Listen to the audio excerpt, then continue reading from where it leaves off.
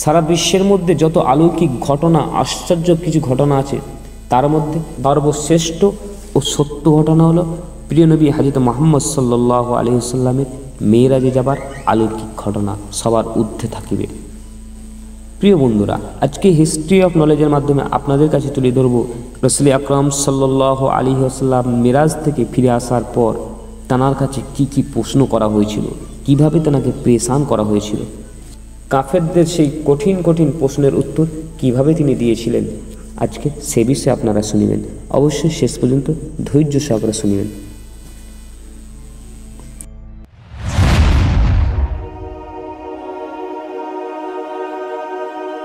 মেয়েরাজ মেয়েরাজ শব্দটি হলো আরবি, যার অর্থ হচ্ছে ঊর্ধ্ব আরোহণ করা। মহান রব্বুল আলমিন আল্লাহ পাকের সঙ্গে প্রিয় নবী হাজরত মোহাম্মদ সাল্লাহ সাল্লামের সশরীরে সাক্ষাতের ঘটনা কি? মেয়েরাজ বলা হয়। এই সফরের প্রথম ভাগ বলা হয় মসজিদে হারাম থেকে মসজিদে আকসা পর্যন্ত বলা হয় ইসরা।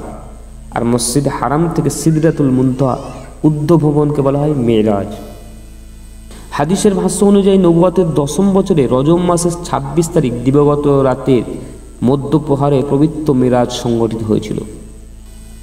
বিখ্যাত সাহাবি হাজরত আনাস ইবনে মালিক রদিয়াল্লাহ তালানু কুদরতি এই সফরের বর্ণনা করে বলেন, মহানবী সাল্লাহ আলাইসাল্লাম ইস্বাদ করেন, রজবের সাতাশ তারিখ রাতে হঠাৎ আমার কাছে জিব্রাইল আলহিসাল্লাম একটি সাদা রঙের বোরাক নিয়ে উপস্থিত হলেন। আমি এটা আরোহণ করলাম অত্যপর মসজিদে প্রবেশ করলাম এবং সেখানে দুই রাকাত নামাজ আদায় করলাম। এরপর আমি মসজিদ থেকে বের হলাম। তখন জিবরাইল ইসলাম একটি শরাব একটি দুধের পাত্র নিয়ে আমার সামনে উপস্থিত হলেন। আমি তখন দুধের পাত্রটি গ্রহণ করলাম। ইসলাম বলিলেন, আপনি ফিতরাতকেই পছন্দ করেন? হাদিসে আরও বর্ণিত হয়েছে, সপ্তম আকাশে যখন হুজুর পাক সাল্লা সাল্লাম গিয়েছিলেন, তিনি বলেন, বাইতুল মামুর দেখতে পান। এই বাইতুল মামুরের দৈনিক সত্তর হাজার ফ্রেস্তা প্রবেশ করেন এবং ক্যামত পর্যন্ত যে একবার প্রবেশ করবে, সে দ্বিতীয়বার আর প্রবেশ করবে না। অতঃপর সিদ্রাতুল মুনতাহা শেষে সীমার নির্দর্শক কেন্দ্রবিন্দুতে গিয়ে পৌঁছান। ক্রমান্বয়ে তিনি জান্নাত ও জাহান্নাম পরিদর্শন করেন। সিদ্রাতুল মুনতাহা গিয়ে বোরাকের গতি থেমে যায়। ফারিস্তা জিব্রাইল সাল্লাম এগোতে পারলেন না। সিদ্রাতুল মুনতাহার কাছে সবুজ রঙের রফরফ নামে একটি কুদরত সিঁড়ি অপেক্ষমান পেলেন। এই রফরফের মধ্যে আরোহণ করে হুজরি আকরম সাল্লাহ সাল্লাম একাই আল্লাহ তালার নিকটবর্তী হলেন। আল্লাহ তালার সঙ্গে একান্তভাবে কথাবার্তা বলিলেন। মহান রব্বুল আলমিন আল্লাহ তালা রসুল আকরম সাল্লা সাল্লামকে সমগ্র সৃষ্টি জগতের রহস্য বুঝিয়ে দেন।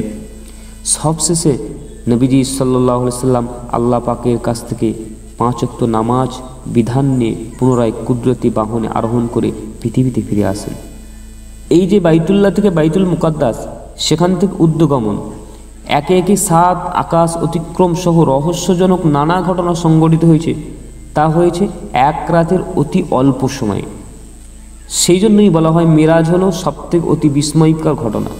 যে ঘটনা বর্ণনা দিতে গিয়ে আল্লাহ তালা নিজেই তালা শব্দ ব্যবহার করেছেন পবিত্র এ মেরাজের বিস্ময়কর হলো, এটা কিন্তু অবিশ্বাস নয় যে অবিশ্বাস করিবে সন্দর প্রসঙ্গ করিবে, সে ইমান হারা হবে।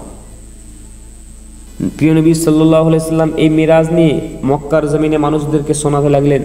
সে সময় যেমন আবু জেহেলের লোকেরা মেরাজকে নিয়ে ব্যঙ্গ করেছে, নানা প্রশ্ন উত্থাপন করেছে। তেমনি আজকের যুগেও তথাকথিত কিছু লোক মেরাজ প্রসঙ্গে অবান্তক তর্ক করে চলেছে।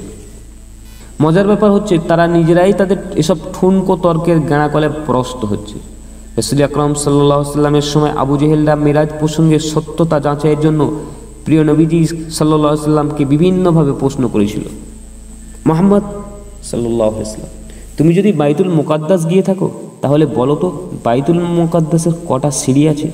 কটা জানালা, দরজা আছে বলো তো প্রিয় দর্শক, আপনারা, আমরা যখন কারও বাড়িতে যাই বা কুটুম বাড়ি যাই, আত্মীয়র বাড়ি যাই, আমরা যখন জানার বাড়িতে যাই, আমরা আমরা কি কখনো সেই বাড়ির জানালা, দরজা, কটা সিঁড়ি এগুলো গুনে থাকি? সম্ভব নয়। কখনোই আমরা করি না। রসুল আকরম সাল্লাহ সাল্লাম গিয়েছেন, কিন্তু তাও তিনি গোনেননি। তাদের এসব উদ্ভব প্রশ্ন শুনে হজির পাক সাল্লাহ সাল্লাম খুবই চিন্তায় পড়ে গিয়েছিলেন। এখন যদি তাদের প্রশ্নের জবাব দিতে না পারি, তাহলে এরা আমাকে মিথ্যাবাদী বলে সাব্যস্তই করে দেবে। হাদিস পাকের মধ্যে এসেছে, রসুল আকরম সাল্লাহ সাল্লাম এত পেরেশানি হলেন এই রকম পেরেশানির আর কখনো হননি। হুজরি আকরাম সাল্লাহ সাল্লামের এই পেরেশানি দেখে মহান রব্বুল আলমিন আল্লাহ পাক জিবরাইলকে পাঠিয়ে দিলেন, হে জিবরাইল, যাও, আমার প্রিয় হাবিবের সামনে বাইতুল মুকাদ্দাসের পুরো ছবিটা পুরো দেখিয়ে দাও, রাস্তা পরিষ্কার করে দাও।